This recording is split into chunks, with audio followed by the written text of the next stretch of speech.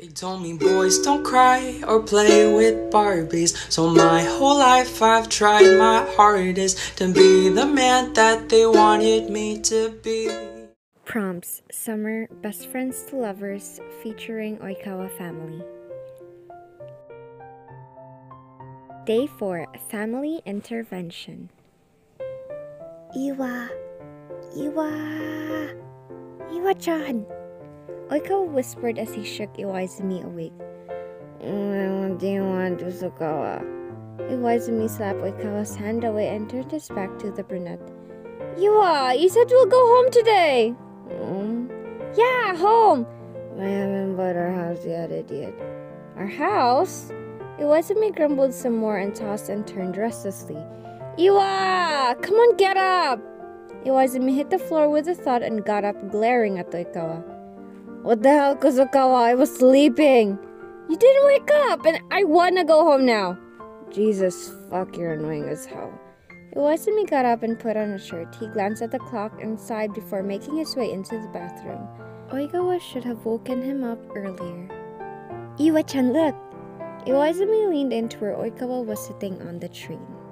There were no more seats except for one, and it made sense to give it to the brunette. Hmm?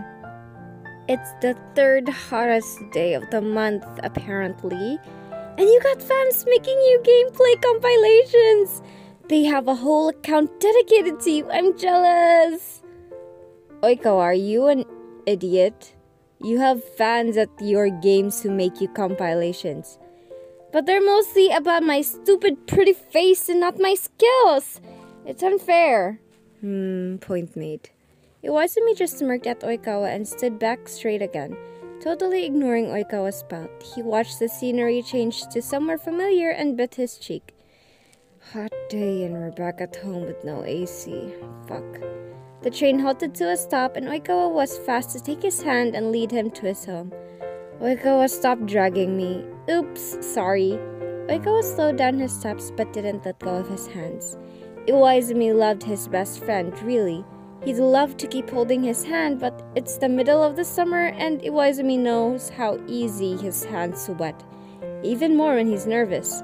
Oikawa, hand, give it back. But I want to hold your hand!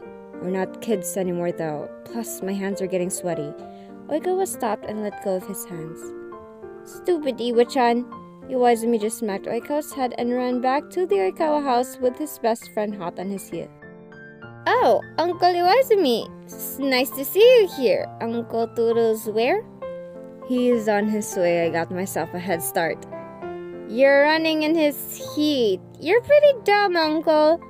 I see that you've finally adopted the Oikawa mouth. Hajime, this Oikawa mouth is on Toru as well. And I see you staring at Toru's Oikawa mouth, yes? Iwaizumi flushed red and raised his hands in defeat, shaking his head to ask Oikawa's mother to drop it. Auntie, I'm not sure. I knew it! You were staring at my mouth! Iwaizumi whipped around to see Oikawa pointing at him, hair wild from running and panting so hard. I wasn't. He was. He was. You were! Kuzukawa, I wasn't. Haji! You're so red! Haji, Haji, Haji. Oikawa called him Haji. He could faintly hear Takeru cackling and Oikawa's mother calling after him as he stomped his way to Toru's room and locking himself in it. Oikawa only gave him under five minutes to compose himself before knocks were heard. You and I have to talk, Iwa.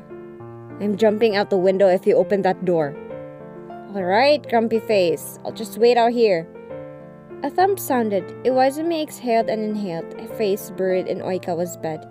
When he felt his face go down, he sat against the door and knocked slowly two times on the wall. I'm here.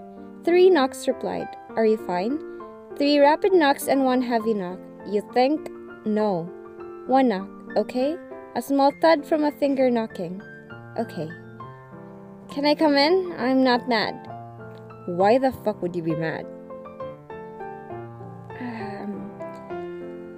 You were staring at my mouth for minutes, even, and it's a creep thing to do. A punch hit the wall, and Oikawa snickered, knowing Iwaizumi was flustered behind the wall. His snicker was cut short though because the door opened, Iwaizumi hauling him to his bed and climbing on top of him. Whoa. Iwaizumi just headbutted him and plopped on top of him. Iwa, ah, that hurts! Shut up, goddamn headache. Arms curled up around him and Iwaizumi forcefully rolled to lay beside Oikawa instead. I hate you, says your hyperfixation on my mouth. I do not have a hyperfixation on your damn mouth. Right, you have a hyperfixation on my mouth, hands, habits, attitude, anything else? Fuck you, shut up, Kusakawa Trashikawa, stupid kawa. Aw, is it hard to say you like me? Oikawa rolled to his side and pulled Iwaizumi's waist to bring him closer. Iwaizumi could feel the heat of Oikawa's eyes on his face. Yes, asshole, your head will grow big and that's just another problem for me. Idiot.